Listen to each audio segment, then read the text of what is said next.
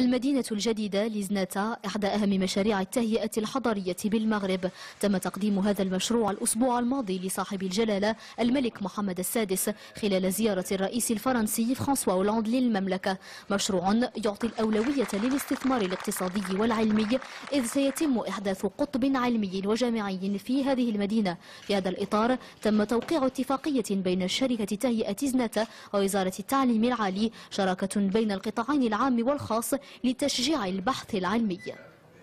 قطب علمي قطب سيعالج آه، يعني عجز في بعض المجالات. لأننا نريد أن نغطي كل حاجيات المغرب على المستوى التكنولوجي. نريد إنتاج الطائرات لا بد من تكوين المهندسين. نريد إنتاج السيارات لا بد من تكوين المهندسين في هذا المجال. إذا كل المجالات الغائبة في المغرب لا بد إن شاء الله أن نغطيها. ويرتكز تطوير مدينة زناتا على إنشاء أربعة أقطاب للأنشطة ستكون بمثابة قاطرة للتنمية المستدامة وهي قطب التعليم والخدمات الصحية والقطبان التجاري واللوجستيكي.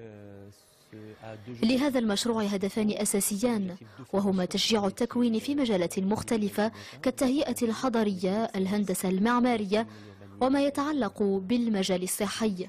أما الهدف الثاني فيدور حول تنمية البحث العلمي.